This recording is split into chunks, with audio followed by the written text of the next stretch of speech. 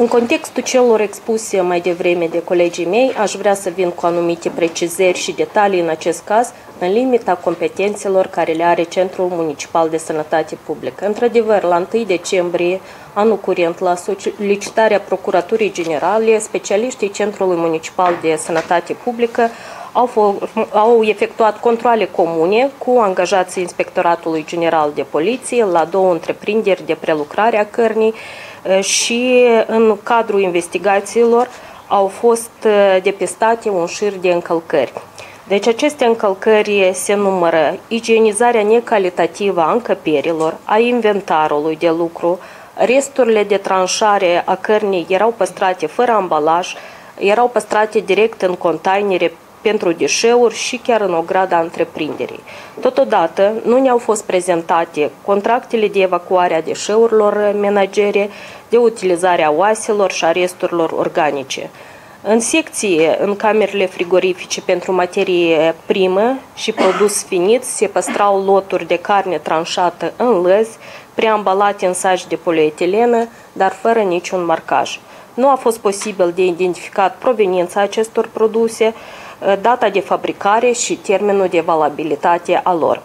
Uh, personalul angajat în secție uh, dispuneau de control medical, însă niciunul nu avea instruirea igienică susținută care se susține în cadrul Centrului de Sănătate Publică.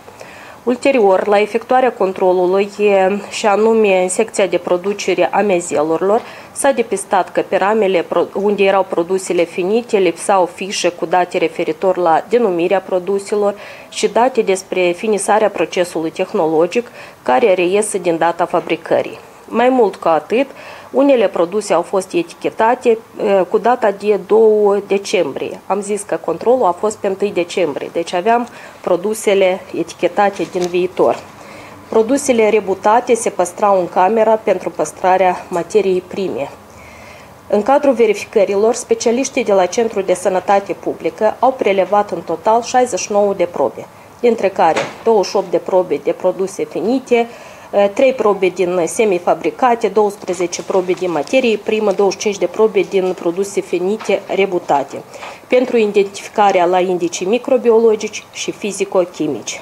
Rezultatele de laborator, care sunt încă deci prealabile, preliminare, fiindcă mai avem nevoie de timp să lucrăm cu specialiștii din laborator, au arătat că 21 de probe sunt pozitive la indicatorii microbiologici, adică au fost depistați uh, microbi. Au fost depistați în 8 probe uh, bacterii coliforme, în 3 probe Escherichia coli și în 2 probe Staphylococcus aureus. Totodată a fost depistat depășirea normei de nitriți și fosfați la unele produse prelevate, acestea fiind doar datele preliminare. Deci când vom avea datele finale, deci vom mai ieși odată cu rezultatele finale.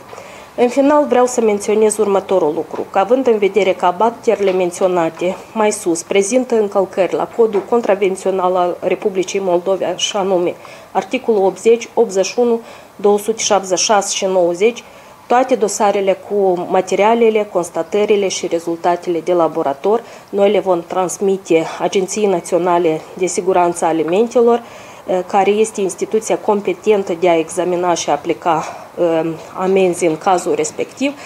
Eh, și de asemenea noi suntem cei care putem să sesizăm și organele, cum este Procuratura, Inspectoratul General de Poliție, de asemenea va primi toate materialele noastre.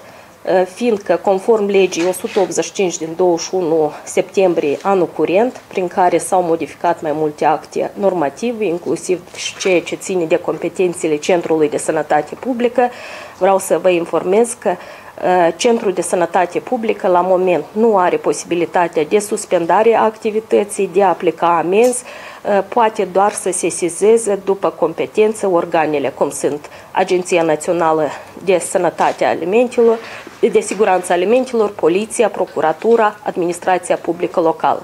Dacă este nevoie ca specialiștii noștri să participe în grupuri de lucru comune cu alți specialiști, deci vom participa. Dar acestea sunt competențele Centrului de Sănătate Publică la moment. Vă mulțumesc!